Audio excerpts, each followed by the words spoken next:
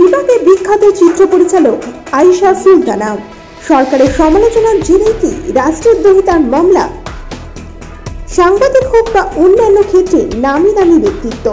দু সালের পর থেকে দেশে বিজেপি ক্ষমতায় আসার পর থেকেই রাষ্ট্রদ্রোহিতার মামলা দায়েরের পরিমাণ গোটা দেশে এক ধাক্কায় অনেকটা বেড়ে গিয়েছে। সম্প্রতি লাক্ষাদ্বীপে এমন একটি ঘটনার সাক্ষী হলেন সমগ্র দেশবাসী। লাক্ষাদ্বীপের প্রখ্যাত সমাজকর্মী আয়শা সুলতানার বিরুদ্ধে জারি হলো এফআইআর। মডেল ওরফে চিত্র পরিচালক আয়শার সাম্প্রতিক মন্তব্যের জেরে রাষ্ট্রদ্রোহিতার অভিযোগে মামলা দায়ের করা হয় কভারাত্তি থানায়। Zero vision. সবার সাথে, সবার পাশে। Zero vision. রাতের অন্ধকারে হলদি নদীতে উল্টে গেল একটা আস্ত ট্রলার। মৃত চালক সেই সঙ্গে সঙ্গে নিখোঁজ হয়ে গেলেন চার মৎস্যজীবী।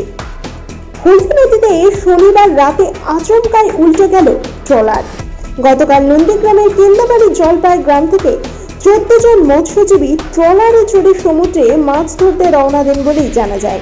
রাত এগারোটা নাগাদ হলদি নদীতে আচমকায় ডুবে যায় ট্রলারটি। এই ঘটনায় চালকের মৃত্যুর খবর পাওয়া যাচ্ছে।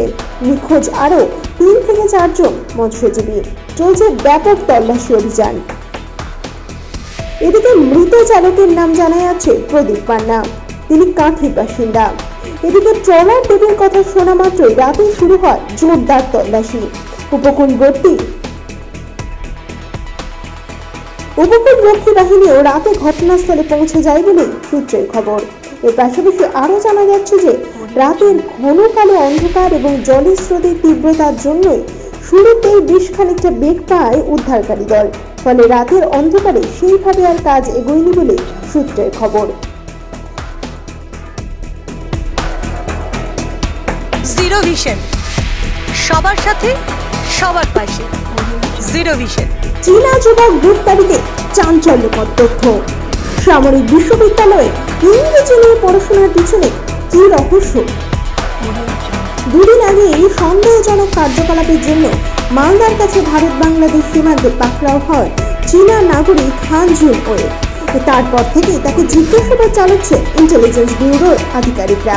পুলিশ জানিয়েছেন হান জুন ওয়ের বয়ানে একাধিক অসঙ্গতি মিলেছে।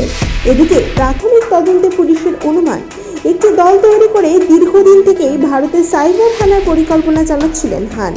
এর পাশাপাশি আইবি সূত্রের খবর, চীনের সামরিক বিশ্ববিদ্যালয় থেকে ইংরেজিতে স্নাতক হন হান জুন ওয়ে কিন্তু কেন সামরিক বিশ্ববিদ্যালয় থেকে ইংরেজি নিয়ে পড়াশোনা করলেন? সেই বিষয়ে অবশ্য কোনো সদুত্তর পাওয়া যায়নি তার কাছ থেকে। এদিকে আমেরিকান উচ্চারণ ভঙ্গিতে ইংরেজি কথাও বলতে পারেন তিনি। পুলিশের দাবি হাজারের বেশি ভারতীয় ডেটাবেস চীনে পাচার করে দিয়েছে হান। জিরো ভিশন সবার সাথে সবার পাশে।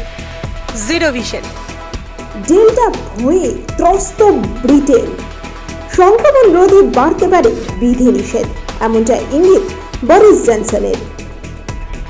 বর্তমানে ভারতে করোনা উদ্বেগ বেশ খানিকটা কমলেও এখনও পর্যন্ত বিশ্বব্যাপী আতঙ্কের বাতাবরণ তৈরি করে রেখেছে করোনা ভাইরাসের ডেল্টা বা B dot one dot six one seven dot two strain বিশ্ব স্বাস্থ্য সংস্থার তরফে গত মাসে এটিকে উদ্বেগজনক ভ্যারিয়েন্ট বলে চিহ্নিত করা হয়েছে। এবার করোনার এই ভারতীয় প্রজাতি ডেল্টা স্ট্রেন নিয়ে রীতিমতো উদ্বেগ প্রকাশ করতে দেখা গেল ব্রিটিশ প্রধানমন্ত্রী বরিস জনসনকে। প্রসঙ্গত উল্লেখ্য, করোনার আলফা ভ্যারিয়েন্টের চেয়ে প্রায় দ্বিগুণ বেশি শক্তিশালী এই ডেল্টা স্ট্রেন সরকারি গবেষণা বলছে, ভারতে কোভিডের দ্বিতীয় ঢেউয়ের পিছনে এই সংক্রামক ভ্যারিয়েন্টে দায়ী, যার উৎপত্তি স্থল ভারত। বর্তমানে বিশ্বের পঞ্চাশটির বেশি দেশে ডেল্টার পা পড়ে গিয়েছে বলে জানা যাচ্ছে। আর তারই জেরে ইংল্যান্ডে লকডাউন বাড়ার ইঙ্গিত দিলেন প্রধানমন্ত্রী জনসন